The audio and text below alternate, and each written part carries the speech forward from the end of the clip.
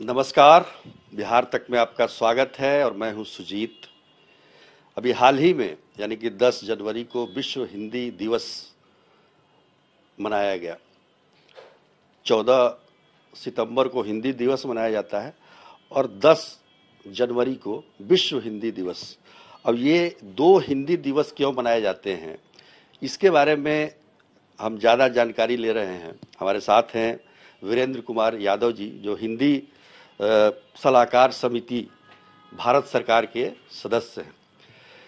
वीरेंद्र जी बताइए कि हिंदी दिवस एक मनाया जाता था, जाता रहा है तो फिर विश्व हिंदी दिवस क्यों मनाया जाता है? पहले तो मैं ये बता दूँ कि हिंदी दिवस हमारा संवैधानिक पहलू था। जब संविधान सभा ने 14 सितंबर उन्नीस सौ उनचास को हिंदी को राजभाषा घोषित किया तो ये प्रारूपण था कि भारत सरकार के जितने कार्यालय हैं वो हिंदी राजभाषा में काम करे। लेकिन जब हमने संविधान को लगाया 26 जनवरी 1950 को तो हमने 15 वर्ष की छूट दे, दे डाली। और 15 वर्ष की छूट इसलिए संविधान निर्माताओं ने दिया होगा कि 15 साल में हिंदी समृद्ध हो जाएगी और अंग्रेज़ी को स्थानांतरित कर देगी। उसके पहले हमने उन्नीस सौ तिरेसठ में ही एक संसदीय संकल्प लाया, जिसे तत्कालीन गृह मंत्री लाल बहादुर शास्त्री जी से पारित करवाया गया। वो अध्यादेश बना और धारा तीन तीन का निर्माण हुआ। तो धारा तीन तीन से हुआ कि हर काम को दुभाषीय करने हैं। तो दुभाषीय करने की परिपाटी जब चली और आज तक चली आ रही है तो हम लोग सरकार से भी मांग करते हैं कि जो भाषा के दृष्टिकोण से हमारे देश को राज्यवार तीन भागों में बांटा गया है कौ क्षेत्र में ख क्षेत्र में और गौ क्षेत्र में। तो कौ क्षेत्र में हिंदी भाषी राज्यों को रखा गया है। तो हम लोग मांग करते हैं कि वहाँ दुहासिया की क्या ज़रूरत है? वहाँ धारा तीन तीन को बंद किया जाना चाहिए वहाँ तो सिर्फ़ हिंदी से ही काम चलाया जा सकता है। तो जो हाँ जो क्षेत्र है कौन कौन से क्षेत्र हैं? ये जैसे हिंदी प्रदेश में बिहार है उत्तर प्रदेश है उत्तराखंड है झारखंड है राजस्थान है दिल्ली है और अंडमान निकोबार है ये सब कौ क्षेत्र में आते हैं?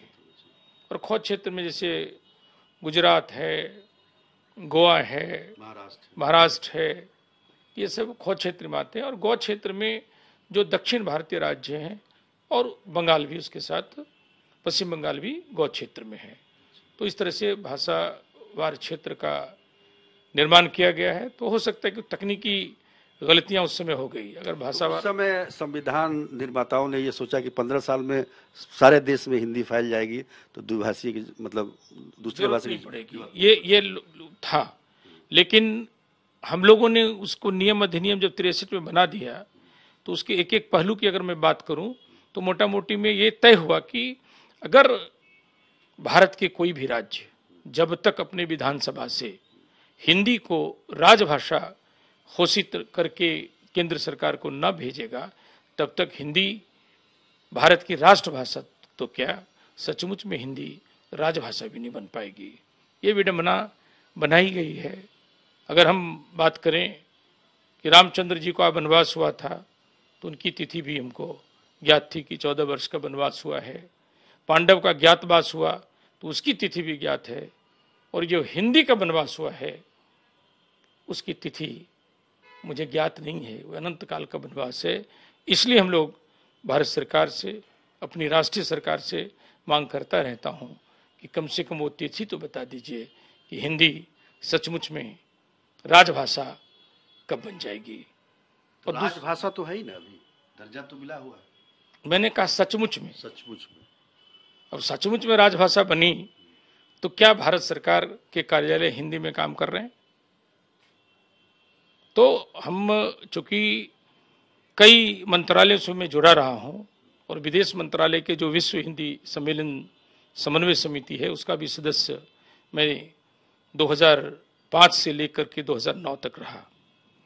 तो उसी में बात आ रही थी बहुत दिनों से कि हिंदी दिवस तो मनाई जा रही है तो वैश्विक पैमाने पर विश्व पटल में भी हिंदी का प्रचार प्रसार हो, उसके लिए विश्व हिंदी दिवस भी मनाया जाना चाहिए। तो हम लोग थे उसका समिति में तो 8 जून 2005 को विदेश मंत्रालय की जो अनुवर्ती कार्रवाई होती है, उसमें बैठक में हुआ तो उसमें हमने प्रस्ताव दिया कि 10 जनवरी को विश्व हिंदी दिवस मनाया जाना चाहिए। और क्यों मनाया जाना चाहिए कि चूँकि दीर्घकालीन प्रवासी गांधी, जो दक्षिण अफ्रीका में रहने के बाद 9 जनवरी की रात्रि को 1915 में जब भारत आए तो आज़ादी से पहले वो भाषा की लड़ाई में लड़ गए लग गए। और उन्होंने बहुत सारी चीज़ें की और 10 जनवरी को जो विश्व हिंदी सम्मेलन हुआ था 1975 में, पहला विश्व हिंदी सम्मेलन 1975 में हुआ तो एक संदर्भित था। और कुछ लोगों का मानना है या किवदंती है, कहा जाता है कि जब गिरमिटिया मजदूर बनाए बना करके ले जाए गए तो वह दिन भी 10 जनवरी का था तो ये प्रस्ताव हमने दिया और ये सर्वसम्मति से 8 जून 2005 को लागू हुआ, मैंने स्वीकृत हुआ और 2006 से भारत सरकार ने मनाना शुरू किया और विदेशी दूतावासों में इसको मनाया जाता है। तो अब भारत में भी स्वैच्छिक संस्थाएँ और कुछ कार्यालय ने मनाना शुरू किया है। लेकिन हिंदी दिवस की तरह नहीं किया है, क्योंकि मैं विश्व हिंदी सम्मेलन समन्वय समिति के सदस्य के नाते देश ही नहीं, विदेशों में प्रचार प्रसार करने जाना पड़ता है। तो मुझे कभी कभी लगता है कि विश्व हिंदी सम्मेलन से कोई उठ के हमसे पूछ बैठे कि आप तो विदेशों में हिंदी का प्रचार प्रसार करने चले आए। देश में इसकी गति इतनी शिथिल क्यों है? तो हम क्या जवाब देंगे? अगर भारत में हिंदी नहीं होगी मेरा सवाल भी यही है जी। क्यों शिथिल सब होने के बावजूद इतनी जनसंख्या हिंदी बोलती है भारत की हाँ। बावजूद भी आज वो दर्जा नहीं मिल पाया है इसलिए नहीं मिल पाया कि मैं इसको एक पूरा कर लेता हूँ। फिर इस दूसरे संदर्भित सवाल का जवाब मैं देता हूँ कि पहले तो मैं ये बताना चाह रहा था कि विश्व हिंदी सम्मेलन हमसे पूछे। तो क्या भारत में हिंदी नहीं होगी तो विश्व में हिंदी हो सकती है? इसलिए हम लोग मांग करते रहते यहाँ के विद्वानों से भी, साहित्यकारों से भी, कि आज हिंदी को सिर्फ़ साहित्य ही की भाषा बनाने की आवश्यकता नहीं है, साहित्य से आगे हिंदी को ज्ञान की भाषा, विज्ञान की भाषा, शासन की भाषा, प्रशासन की भाषा, न्याय और न्यायालय की भाषा बनाने की आवश्यकता है, तभी हम भारत के आँगन में नवान का उत्सव देंगे, देखेंगे और हिंदी का तुलसी पल्लवित होते हुए देखेंगे। तो अब दूसरा सवाल आपका रहा कि क्यों नहीं होता है? तो यह मैं अपनी सरकार या कोई भी सरकार, भारत सरकार को दृष्टिगत दोष देखता हूँ कि हमारी राजभाषा नीति और रोज़गार नीति में इतनी भिन्नता है कि अगर राजभाषा नीति हिंदी केंद्रित है तो रोज़गार नीति अंग्रेज़ी केंद्रित है। तो जब तक कोई सामंजस्य नीति नहीं बने कि हम हिंदी और भारतीय भाषाओं में पढ़ करके अच्छे भारतीय प्रशासनिक पदाधिकारी बन सकेंगे, डॉक्टर बन सकेंगे, अभियंता बन सकेंगे तो ये अगर विकल्प दे दे सरकार उच्च शिक्षाओं में हिंदी और भारतीय भाषाओं का विकल्प हो जाएगा तो मुझे नहीं लगता है कि भारत में मुझे फिर कोई हिंदी सलाहकार समिति बनाने की ज़रूरत होगी या हिंदी की प्रचार प्रसार करने की आवश्यकता होगी। दो दो हिंदी दिवस बनाने की ज़रूरत होगी। दो दो हिंदी दिवस तो वो तो एक एक भारत का एक विदेश का विश्व का पटल का है। मेरा ये कहना है कि भारत चूँकि कई भाषाओं का देश है तो उसमें हिंदी को आप कैसे किसी दूसरे पे आप कह सकते हैं?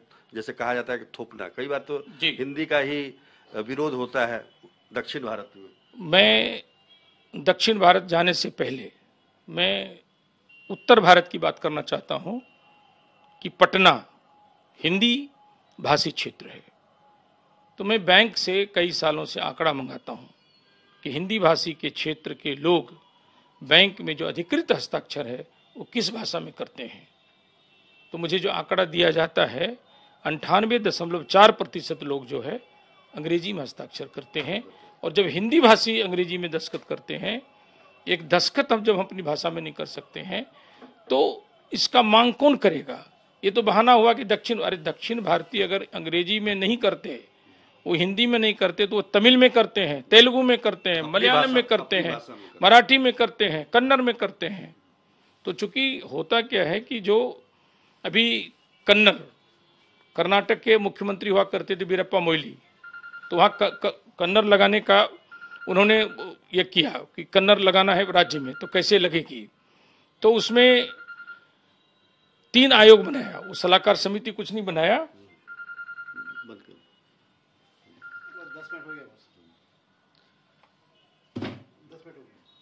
तो कन्नड़ इसलिए मूलभूत है क्या कि उन्होंने तीन सदस्यीय आयोग बनाया और तीन सदस्यीय आयोग को इम्पावर्ड किया शक्तिशाली किया। क्योंकि हम लोग हिंदी सलाहकार समिति हैं सरकार माने या ना माने सलाह देता हूँ मैं। तो उसमें उनको इम्पावर्ड किया कि आप औचक निरीक्षण करिए कार्यालय का और नियम विरुद्ध कोई पाया जाता है तो आप उसे निष्कासित ही नहीं, बर्खास्त करने का अधिकार दिया। बड़े से बड़े अधिकारियों का और एक साल का समय दिया गया। और तजुब होगा कि अब कभी कर्नाटक जाएँ तो कर्नाटक के राज्य कार्यालय में कन्नड़ में सारा काम होता है और छः महीने में कर लिया उन्होंने। वीरेंद्र यादव जी से हम बात कर रहे थे और काफ़ी कुछ जानकारी उन्होंने दी, लेकिन जो चीज़ें बताई हिंदी को लेके जब तक संविधान में मुझे लगता है कि संशोधन नहीं होगा, तब तक राष्ट्रभाषा बनना या राजभाषा बनना कठिन ही है। आज के लिए इतना ही, तब तक लिए नमस्कार।